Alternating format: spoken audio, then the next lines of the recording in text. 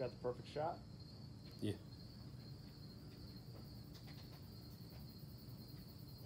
Yum yum. Do it. It looks like it's another praying mantis. That's what I thought at first, but it's like a some sort of fly or something, like a dragonfly. Or, Yeah.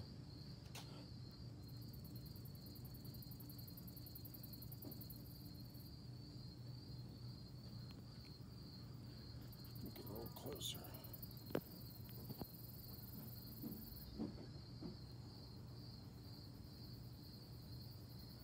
That really does look like another mantis, dude.